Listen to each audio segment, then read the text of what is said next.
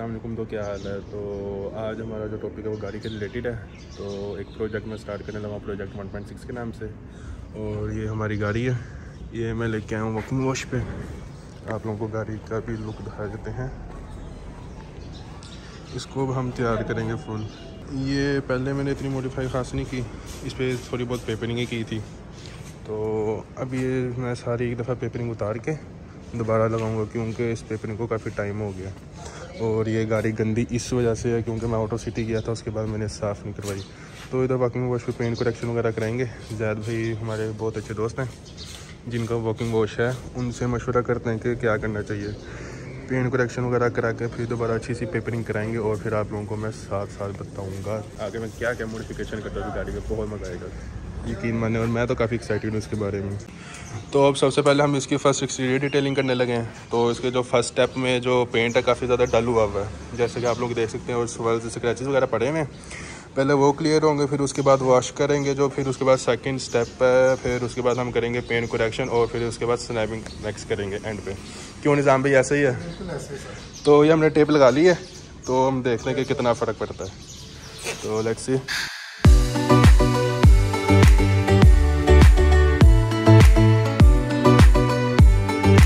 अभी इसका second step of paint correction करने लगे हैं। इंशाल्लाह अब आपको साथ साथ दिखाते हैं फ़र्क।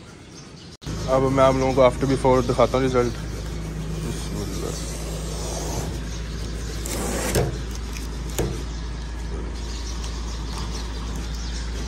तो अभी आप गौर से देख सकते हैं कि काफ़ी ज़्यादा डिफरेंस है। बाकी अब मैं आप लोगों को सेकंड स्टेप पेंट करेक्शन दिखाता हूँ जब मैं पूरी गाड़ी हो जाएगी। ये ना आप लोग स्टार्टिंग में अब जज ना करना, क्योंकि सबसे पहले मैंने सोचा था पेंट करेक्शन वगैरह कराऊँ, क्योंकि ये मेरी गाड़ी पे पेपरिंग वगैरह हुई हुई है तो ये सारा करा के, उसके बाद मैं ये भी बीच में ये भी छत वाला जो है पेपर ये भी उतरवाना है। ये भी आप लोग देख सकते हैं, बहुत टाइम का लगाया, जो सूरज की रोशनी पार पार के सड़ गया हो तो ये सारी उतार के पहले तो पेंट पे मैं गौर कर रहा हूँ तो इधर से फ्री होके फिर उसके बाद पेपरिंग दोबारा से करेंगे अच्छी तो जो मेरी गाड़ी है, उसका पेपर उतार ये जब से मैंने ली थी तब कहीं मैंने लगाया हुआ है। अब बाकी मैं उन लोगों को जब पूरी मुकम्मल होती है ना मैं तब दिखाता हूँ। तो अब अंदर चलते हैं। जैद भी से मिलते हैं। तो फिर अब हम अंदर चलते हैं। वैसे इधर जैद की बड़ी मज़े की बात है कि इनका काम बहुत ज़बरदस्त है।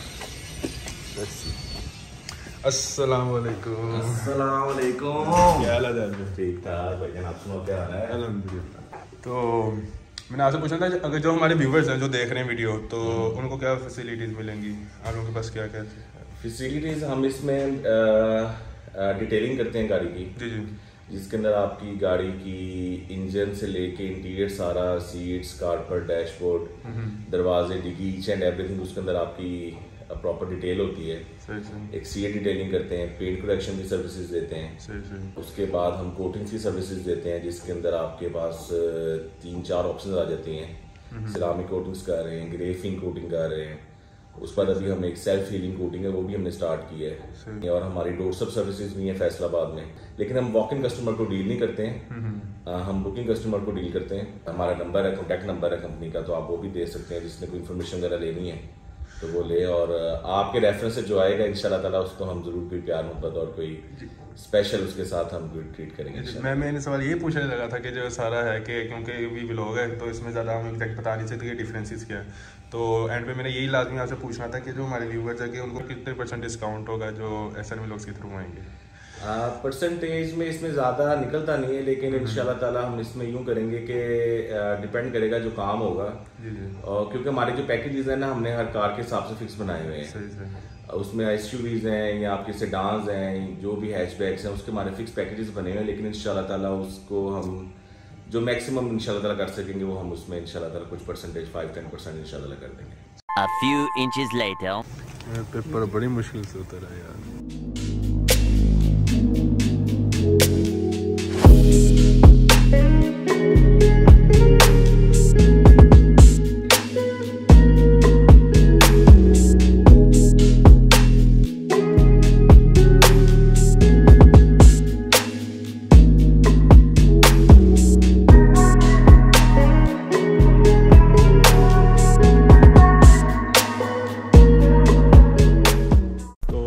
अल्हम्दुलिल्लाह हमारी गाड़ी तैयार हो गई है ये पेन करेक्शन हुआ है सारा। तो हम लोगों को कोई चीज़ बताना भूल गया जो फोग लाइट्स हैं वो भी रिमूव है क्योंकि उनमें पानी वगैरह आया हुआ है वो सही होने के लिए दी हैं। तो एक लोग आप लोग देख लें। ये दूसरी गारंटी उसका काफ़ी डल कलर लग रहा है इसके सामने। तो अभी वैसे बहुत सारे काम हैं अब पेपरिंग वगैरह रहता है इसका। तो ये जो नंबर प्लेट ख़राब हुई हुई है, पीछे लाइट भी थोड़ी सी इसकी टूटी हुई है तो इसकी भी कहानी आप लोगों को बारे में बताऊँगा। इसके साइड में स्ट्रिप लगाई थी तो ये पेड़ भी उतर गया। तो इसका भी कुछ हल देखते हैं। तो अब बस ये भी लोग हम इधर एंड करेंगे। बहुत टाइम कंज्यूम होता है यार।